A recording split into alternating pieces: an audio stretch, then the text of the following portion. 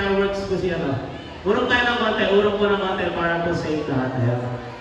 Once again, PMG Dancers